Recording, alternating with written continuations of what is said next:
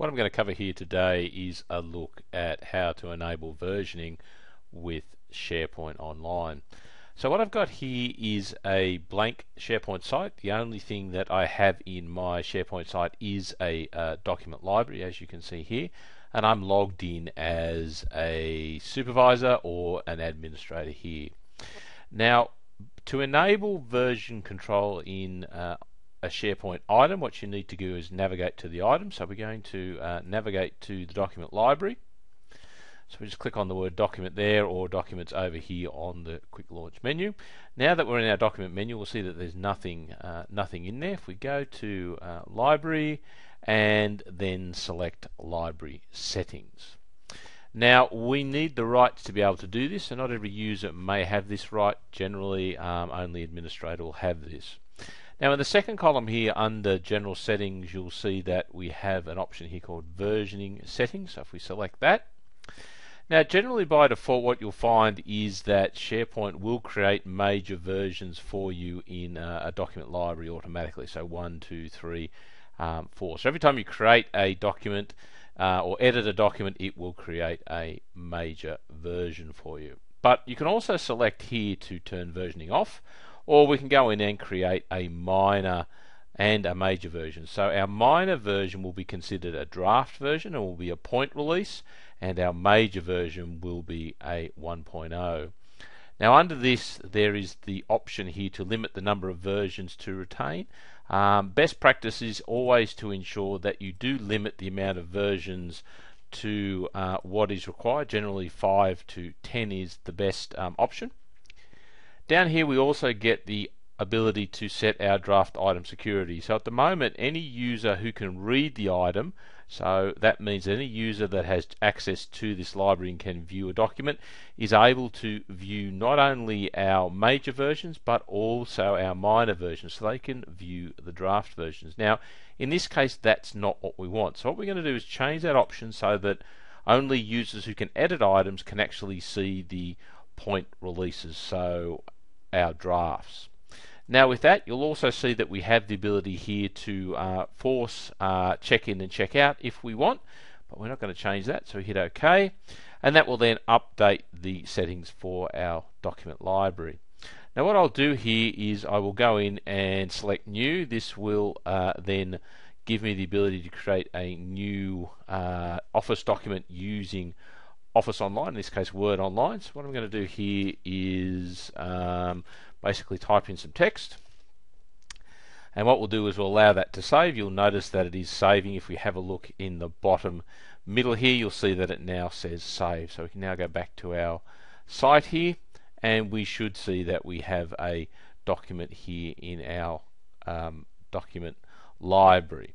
So what I'm going to do again is I'm going to click on this again to go in and edit this for a second time. So now that I've clicked on it for a second time and I then go up to edit a document and editing Word Online, what it's going to do is create a version for me. So um, because I've got drafts turned on, this is going to be my second draft version. So again, you'll see that I have uh, the document saving down here in the middle. So I'll give that a minute to save and update.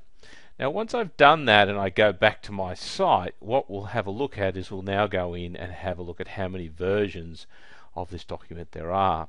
So to do that we select the document by placing a check mark in the left hand side and then going up to the manage icon. Now from the menu that appears we want to select version history. Now you'll see that our version history gives us basically three dot um, or draft um, versions here. So we've got 0.1, 0.2, 0.3. Now, if we hover over any of these, uh, the modified dates, you'll see that we can view them, we can restore that version, and we can delete that draft version. Okay, so now we've got a whole lot of draft versions. Now, what I'm going to do, what I have over here on the left hand side is a user who is logged in um, to the same document library but also only has the ability to view the document. So there's no edit rights here. Now, if I refresh their page, what we'll see is we will see that there are no documents viewed because remember the documents on the left hand side on the right hand side here that we created as an administrator basically our draft versions, and we went into our library and we set our versioning so that only people who could edit can actually see our drafts. Now, for someone who doesn't have that ability, what we need to do is publish a major version.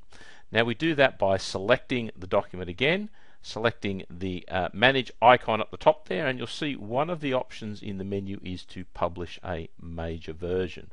So when we publish a major version, we need to give it some information. So we'll do that. Go OK. Alright, so then that will publish a major version. So if I go back again and go into manage and then have a look at my version history, what you'll see is I still have my dot point, so my point 1 and point 2. Now the point 3 that I was working on, I have converted that or published that as a major version. Now if I look at the ordinary user here on the left hand side and refresh their page, what I'll get is you'll now see that document.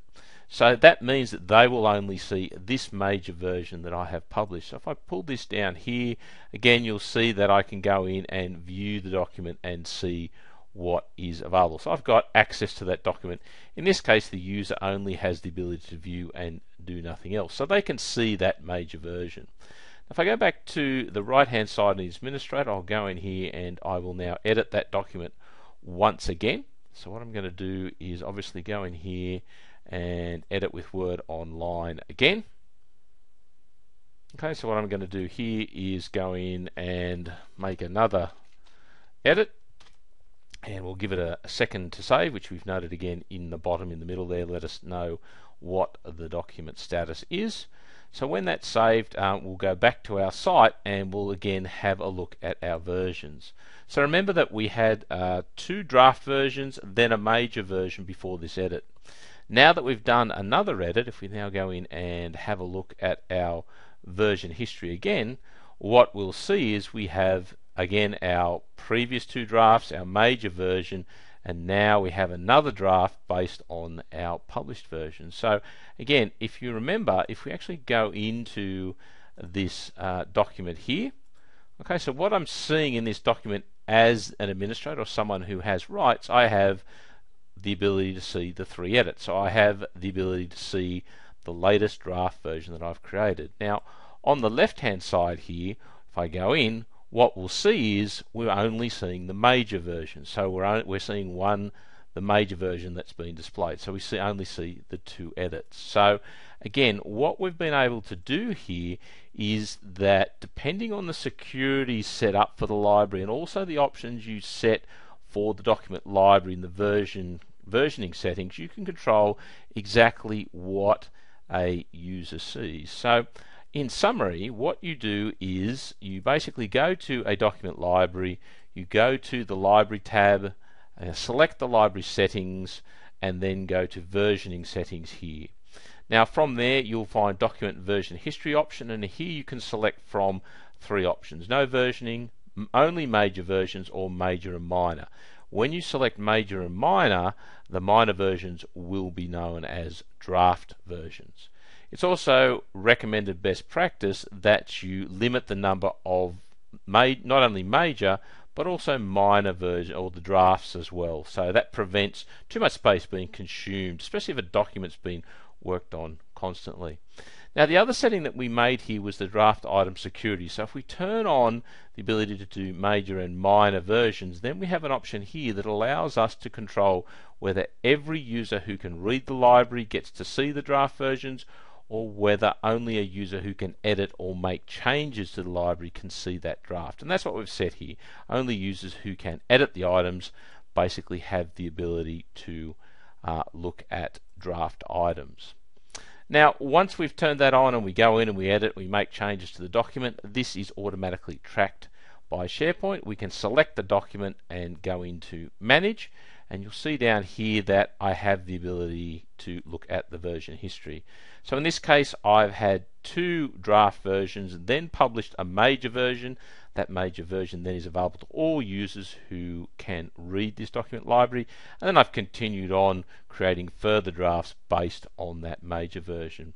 Now as you mouse over here you'll see that we can view and restore any of our previous versions and once we publish a major version we also get the option to unpublish that if desired so again you'll see that in SharePoint document libraries we get a very significant amount of control over how we configure our version settings. Now, the best practice, the general recommendation is, is for most document libraries is that you probably don't need to have um, minor versions enabled as well. So in this case, if we just turn off our uh, major and minor and just go back to major versions, so we're going to go back to simply um, doing that, you'll see that the option disappears here and our item security. So anybody who can read the items obviously can see our major versions. If I now save that, that will update the document library. So if I now go back into my documents and select this document again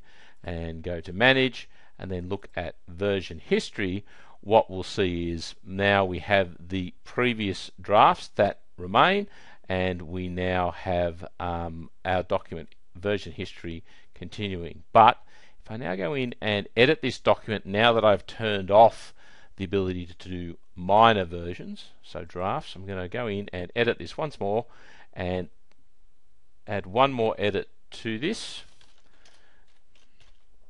Again, give that a moment to save and update.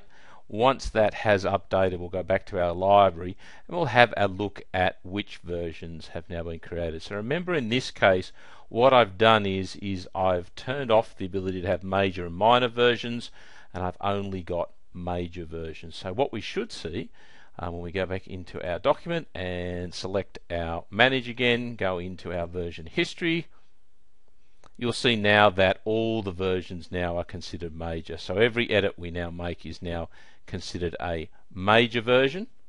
And if I go back and look at the ordinary user, the user, the user who can read the document, so now if I click on them, because that document that they have access to, you'll see that they have access to all the edits we've made because every time we save, we are saving a major version now. So really that's an example of how you can configure your document library. But in most cases, what you want to do is just ensure that version setting is on, that you create a major version for every document in the library, and that allows you to have a backup that you can return to uh, at any point in time.